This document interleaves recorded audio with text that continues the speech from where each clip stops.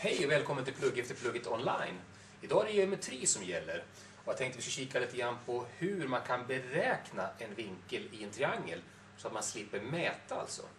För det är så här att vet du två vinklar i en triangel så kan du alltid räkna ut en tredje.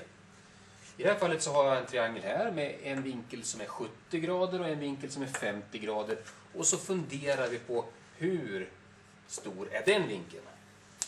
Och då kan man fundera på hur många grader är de här tre vinklarna tillsammans? Så man kan kolla med rektangel så här. En rektangel vet vi att alla hörnen här är räta. Alla hörnen i en rektangel är alltså 90 grader. Fyra stycken 90-gradare, det blir 360 grader. Så att vinkelsumman i en rektangel är 360 grader. Om vi då tänker att vi skulle ta och klippa av eller rita en diagonal tvärs över sådär, så får vi då en triangel, en halv rektangel. Och hälften utav 360 grader är 180 grader. Alltså så är det så här att alla trianglar har en vinkelsumma på 180 grader. Det här kan vi utnyttja då. Om jag nu vet två vinklar och söker den tredje så vet jag att 70 plus 50 plus frågetecknet. 70 plus 50 plus den vinkel jag inte vet.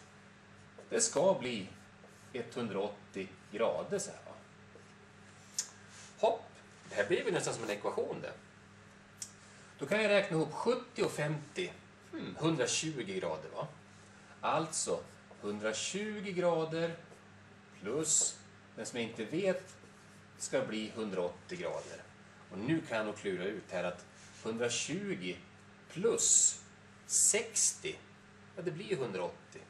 Så att den här vinkeln måste vara då 60 grader. Och då vet jag alla tre vinklar i en triangel. Tack vare att jag vet att vinkelsumman i en triangel alltid är 180 grader. Toppen!